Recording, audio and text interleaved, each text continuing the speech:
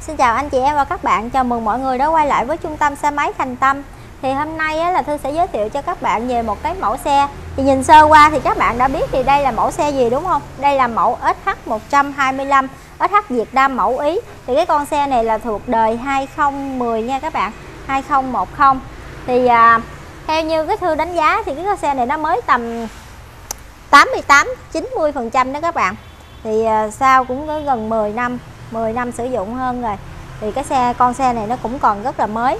Thì bây giờ thư mời các bạn đi một vòng à, tham quan cái con xe này để xem những cái chi tiết ở trên xe này nó nó nó nó còn cỡ bao nhiêu phần trăm nha. Thì à, nhìn nó thì thư sẽ thấy cái xe này á, là nó có một cái tông màu xám. Nâu nâu cà phê sữa các bạn. Còn rất là mới. Từ à, mặt đèn xuống à, dưới mà mặt nạ của xe. Thì đây là Việt Nam mẫu Ý thì nó không có khác gì là một cái con xe Ý nhập hết trơn á. Chỉ có một cái là con này thì mình được uh, sản xuất và lắp ráp tại Việt Nam thôi nhưng mà linh kiện của nó toàn là đồ nhập của Ý thôi nha các bạn. Thì mình phân biệt ờ, với cái con Ý thì ờ, nằm ở cái đầu số của nó.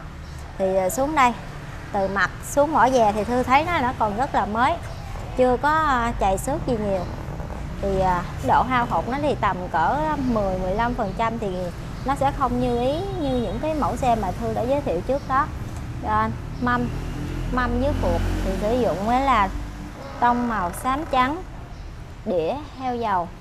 Thì à, những cái ốc của nó thì nó không có còn bóng loáng nữa nhưng mà nói chung ấy thì con xe này thì tôi thấy nó cũng còn ghiên còn ghiên luôn. Cũng à, nếu mà mình nhìn kỹ thì vẫn còn sơn của hãng nha các bạn. Dòng ra về đằng sau thì đây là dàn áo phía bên trái của nó. Các bạn đi từ từ xuống, từ trên xuống dưới. Thì à, cũng chỉ có chày nhẹ thôi, nhưng mà theo như mình quan sát kỹ thì mới thấy thì cũng đã tầm 10 năm rồi, mà cái độ mới nó còn như gì thì cũng quá hoàn hảo thôi. Dàn áo phía sau SH 125 tem SH 125 đây. Mẫu này là mẫu 125 2010 2010 Việt Nam mẫu Ý. Oppo Oppo thì có chày đó các bạn. Oppo có chày à, dàn chân phía sau. Dàn xương sau thì à, nhìn nó còn gắn còn chắc chắn.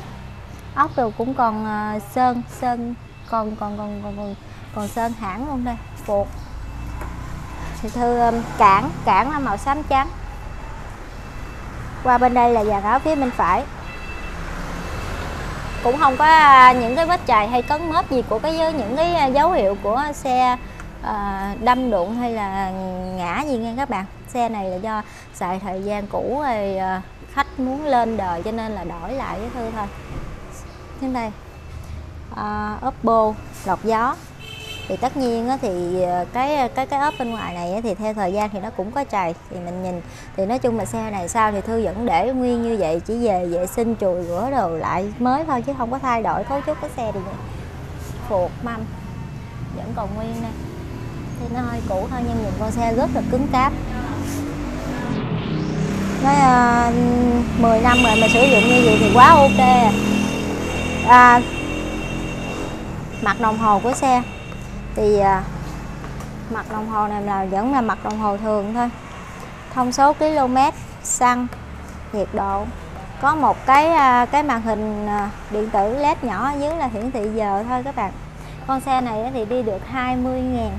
20.700 km rồi. Chính xác là 20.719 km. 10 năm. Đi bao nhiêu đó thì à, cũng ít đó. Nhìn tổng sơ con con xe này thì khá là cứng cáp. Sử dụng rất là ok luôn.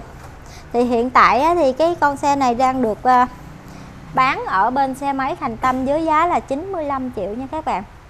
Thì à, đây dành cho những ai mà yêu thích. Cái hàng này là hàng thư xin nhắc lại đây là SH2010 Việt Nam mẫu Ý nha các bạn 125C thì à, mọi hỗ trợ hay là thắc mắc gì về cái con xe này á, thì cứ inbox hoặc là alo cho Thư về cái số điện thoại phía dưới phần mô tả.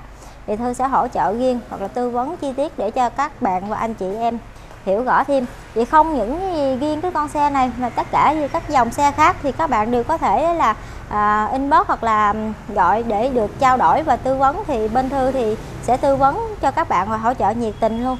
Thì à, hôm nay thì à, giới thiệu sơ về cái con xe này cho các bạn biết thôi. Và hẹn gặp lại các bạn ở cái video clip sau thì Thư sẽ tiếp tục giới thiệu về một cái sản phẩm mới của Thành Tâm cho các bạn xem nữa. Xin chào và hẹn gặp lại ạ.